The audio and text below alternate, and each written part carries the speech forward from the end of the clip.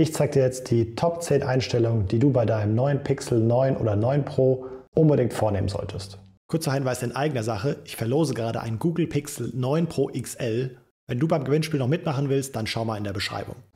Also was du als allererstes bei deinem Pixel 9 oder 9 Pro machen solltest, ist zu schauen, ob die Software auf dem neuesten Stand ist. Denn wir haben ja jetzt noch Android 14, aber es gibt ja auch bald Android 15 und die solltest du sofort runterladen, wenn die verfügbar ist. Um nachzuschauen, geh jetzt einfach in die Einstellungen, dann scrollst du ganz runter zu System und dann gehst du hier runter zu Software Updates. Dann klickst du hier auf System Update und dann wird hier nach der neuesten Software gesucht. Da kannst du auch nochmal hier unten auf Update prüfen klicken. Manchmal findet er das gar nicht sofort, aber dann bist du sicher. Und wenn du jetzt zurückgehst, kannst du ja auch auf App-Updates gehen. Das würde ich dir auch empfehlen. Da siehst du nämlich dann immer hier, welche Apps noch nicht geupdatet wurden. Da kannst du einfach draufklicken auf alle aktualisieren und dann werden auch deine Apps auf den neuesten Stand gebracht. Und ebenfalls in den Einstellungen sollst du danach noch auf Datenschutz und Sicherheit gehen und dann hier auf nach Updates suchen. Dann werden nämlich die Play Services nochmal aktualisiert. Da musst du einfach das Gerät hier nochmal neu starten. Als nächstes sollst du dann Gemini Advanced aktivieren. Falls du das Pixel in der Vorbestellaktion bestellt hast, kriegst du ja Gemini Advanced und 2 TB Google Cloud Speicher gratis dazu. Aber das musst du erst noch aktivieren. Halte dazu den Power-Button gedrückt, bis Gemini aufkommt.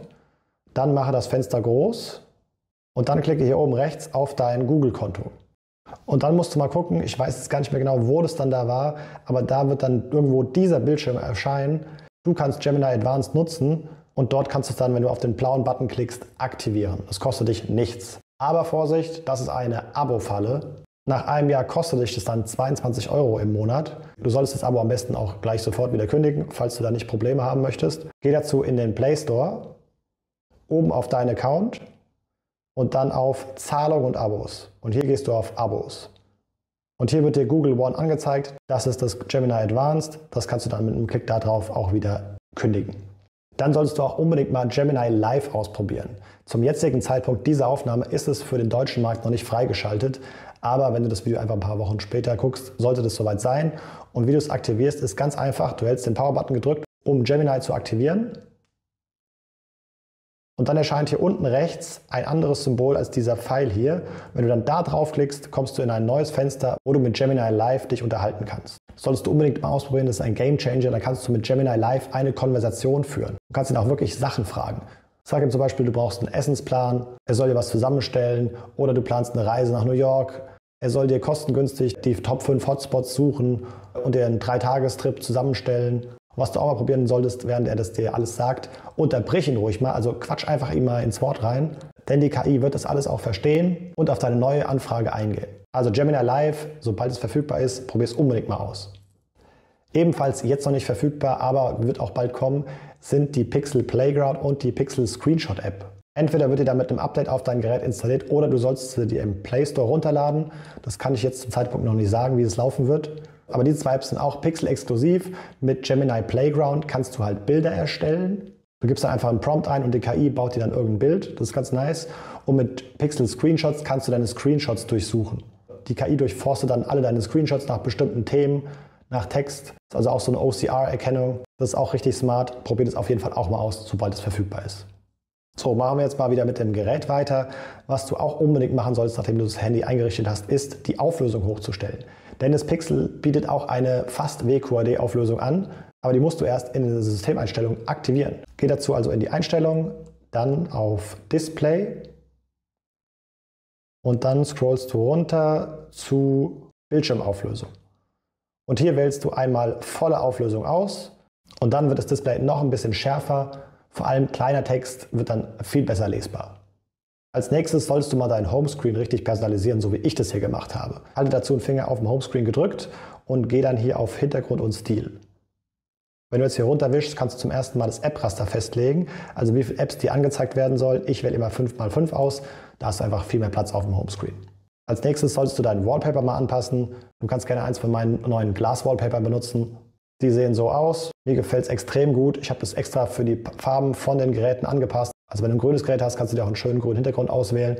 Wenn du dazu dann noch die App-Icons einfärbst, hast du einen richtig schön einheitlichen grünen Look. Ich finde es extrem stylisch. Wenn du darauf Bock hast, dann schau mal in der Beschreibung, da verlinke ich dir die Wallpapers. Also wähle einfach das entsprechende Wallpaper aus und scroll dann hier unten zu Symboldesigns. Das aktivierst du einmal und dann werden die App-Icons auch noch so eingefärbt. Wenn du dann hier oben auf Sperrbildschirm klickst, kannst du den Sperrbildschirm auch nochmal personalisieren. Hier kannst du zum Beispiel die Uhrenstyles durchscrollen. Du kannst einfach eine Uhr auswählen, die dir gefällt. Dann kannst du auch die Farbe und die Größe anpassen. Klein oder dynamisch.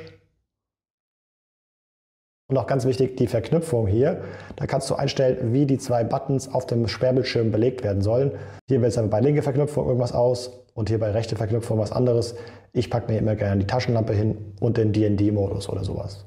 Dann solltest du unbedingt hier nochmal draufklicken. Jetzt kannst du auch das Now Playing aktivieren. Wenn du nämlich hier runter gehst auf Now Playing und das hier aktivierst, dann wird dir auf deinem Sperrbildschirm auch immer angezeigt, welcher Song gerade läuft. Und am Ende fehlt wahrscheinlich nur noch die Uhr. Das ist die Google-Uhr. Da klickst du einfach hier drauf klickst auf Widgets, suchst hier nach Uhr. Hier hast du sie. Dann kannst du sie hier einfach auf den Homescreen ablegen. Und dann hast du genau diesen Style, den ich habe. Als nächstes kannst du dann auch noch die Vorschläge deaktivieren, die dir hier unten in den Apps oder in der Übersicht angezeigt werden. Ich finde es ziemlich nervig. Ich will hier mal konstant die Apps haben, die ich hier eingestellt habe. Falls du also diese Vorschläge nicht haben willst, dann klick mal hier lange drauf, geh auf Einstellungen, scroll runter zu Vorschläge. Hier kannst du sie einmal komplett deaktivieren und hier kannst du auch noch die Vorschläge in der Übersicht deaktivieren.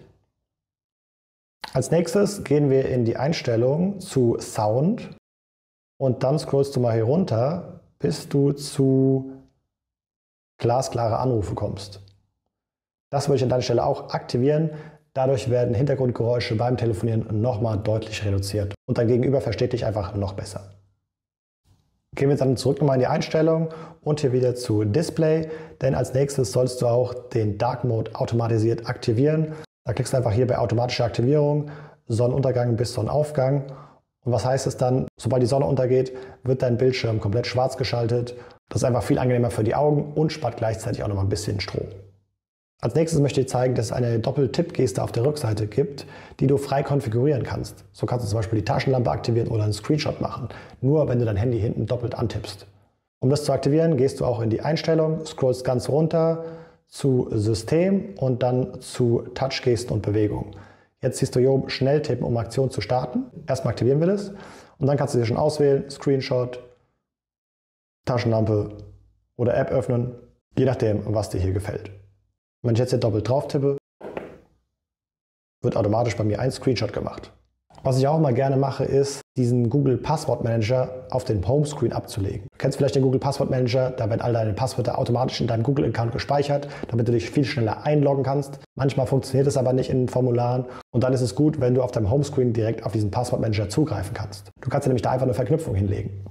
Geh dazu einfach in die Einstellung, dann scrollst du runter zu Passwörter und Passkeys klickst dann hier auf deinen Google-Account und gehst dann hier auf Google Passwort Manager.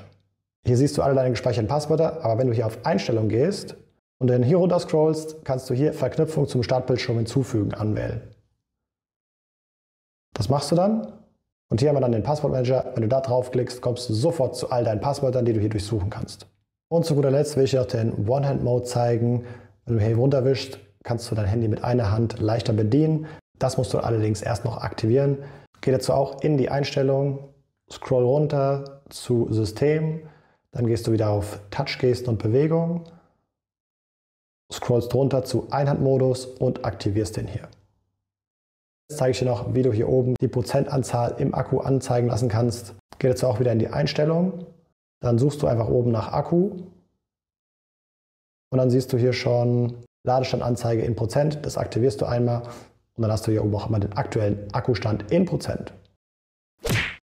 Also das waren meine Top-Einstellungen, die du unbedingt beim Pixel 9 und 9 Pro vornehmen solltest. Hast du noch ein paar nützliche Tipps, dann schreib es mir gerne in die Kommentare. Wenn dir das Video gefallen hat, abonniere mich gerne, damit du keine weiteren Tipps und Tricks-Videos verpasst. Folg mir auch gerne auf Social Media. Alle Links, auch die zu meinen Wallpapern, findest du in der Beschreibung. Jetzt kannst du dir noch zwei weitere Videos von mir anschauen. Los, klick drauf. Es lohnt sich.